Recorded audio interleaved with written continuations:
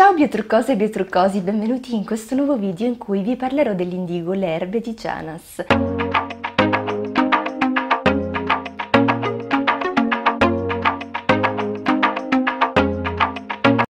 Nel tempo l'erbe di Janas ha cambiato packaging e anche qualità del prodotto che è decisamente migliorata. Questo che ho io è del packaging precedente a quello nuovo. Infatti quello nuovo si presenta molto simile a questo. Tant'è vero che l'Erbe di Genas ha deciso di fare delle scatoline all'interno delle quali sono contenute le polveri, poi all'interno di packaging in plastica trasparente. Mi piace molto la scelta del packaging in cartoncino, questo è quello della Lawsonia Lenne Rosso Freddo, sempre della stessa marca Le Erbe di Janas. L'indigo si presenta allo stesso modo, però c'è scritto indigo Le Erbe di Janas, logicamente poi c'è un altro disegno davanti.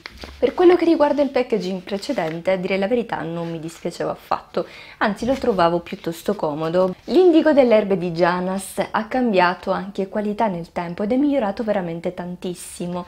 Ho notato che la polvere è estremamente sottile, molto fine, devo dire probabilmente la più sottile degli indigo che ho provato finora, non contiene impurità ed è freschissima, si presenta di una colorazione verde molto intensa. Vi faccio un una mm, comparazione tra l'indigo l'erbe di Janas e l'indigo di un'altra marca di cui non voglio fare nome che è di pessima qualità. Si presenta infatti quest'ultimo di una colorazione verde spento e contiene molte purità all'interno tra cui pezzetti di foglie non perfettamente macinati. Quindi a questo punto quello che succede quando si applica questo indigo è che difficilmente poi verrà risciacquato via. Invece per quello che riguarda l'indigo l'erbe di Janas ho notato che non macchia la testa come succede con molti altri ennè, la lascia molto pulita dopo il risciacquo. Io sono solita fare un co-wash dopo il risciacquo dell'indigo perché in questa maniera sono sicura al 100% di aver rimosso ogni residuo di polvere dalla cute che se rimane sulla cute potrebbe irritarla nei giorni successivi all'applicazione dell'indigo. La profumazione è quella tipica dell'indigo che a me non fa proprio impazzire, però va sopportata per quei tempi di posa che vanno rispettati dall'indigo. Per quello che riguarda i miei capelli io lo tengo in posa circa due ore, ma si può tenere in posa anche di meno, anche per un'ora, se i vostri capelli hanno una porosità alta. Vi lascio nell'info box un video per misurare la porosità dei vostri capelli se ancora non lo conoscete, così da capire come comportarvi con le erbe tintorie e con i trattamenti e le cure per capelli in generale. Lo preparo semplicemente aggiungendo dell'acqua calda di 40-45 gradi, mi avvalgo di un termometro per alimenti, proprio per misurare la temperatura del liquido in questo caso. Eh, aggiungo anche mezzo cucchiaino di sale e un pizzico di bicarbonato per favorire la basicità del prodotto. In questa maniera l'indigo reagirà molto più facilmente dato che ha bisogno di un ambiente basico per poter attecchire sul capello. Consiglio sempre un'applicazione di Lawsonia o comunque un mix con la Lawsonia dell'indigo perché possa attecchire in maniera permanente sui capelli.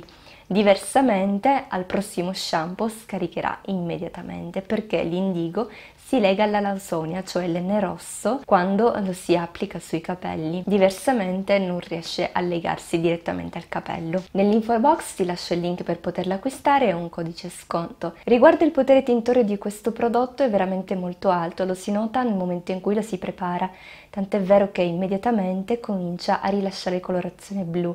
I guanti che utilizzo per applicare l'indigo diventano subito blu quando appunto lo applico quindi soddisfatta del suo potere tintorio. Mm, un po' meno del prezzo che non è dei più accessibili, ci sono indigo sul mercato molto più economici ma con potere tintorio inferiore con una polvere molto ricca di impurità tra cui sabbia, cose che rendono i capelli molto stopposi, molto ispidi, crespi. A questo punto tanto vale comprare un indigo di qualità, spendere qualcosina in più, però ritrovarsi dei capelli decisamente migliori. Per saperne di più riguardo le erbe tintorie come utilizzarle, vari tutorial, ti lascio nell'info box la playlist dedicata proprio alle erbe tintorie. Grazie per aver guardato questo video, ci vediamo alla prossima su Angela Biotrucco e se non sei ancora iscritto o iscritta al canale fallo subito e attiva la campanella da smartphone per ricevere le notifiche sui prossimi nuovi video che metterò. Ciao!